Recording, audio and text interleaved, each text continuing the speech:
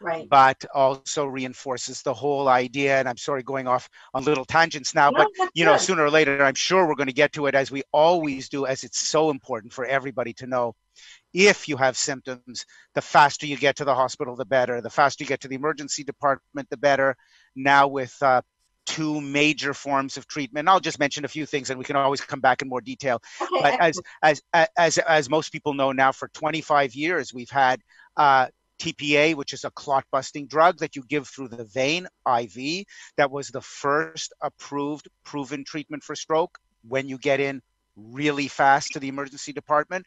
And then, much more recently, in the last few years, what's turned out to be almost miraculous, much more aggressive treatment, but really almost a miraculous treatment for very large strokes. That is for major blockages in the blood supply to the brain, going in with a catheter through the groin, up through the neck, up into the brain, up into the head itself, and retrieving these clots, taking out these blockages, literally pulling them out of the brain and restoring blood flow.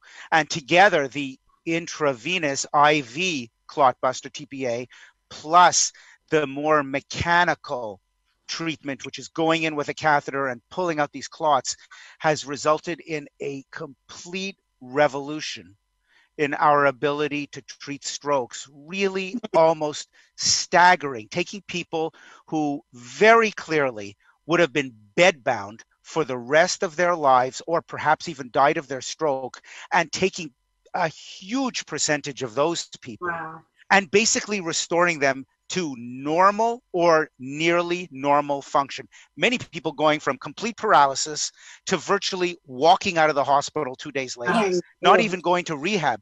Uh, you know, again, this is something that just it- for for those of us who have been around, either watching the scene or as neurologists being involved in the care of people who have strokes.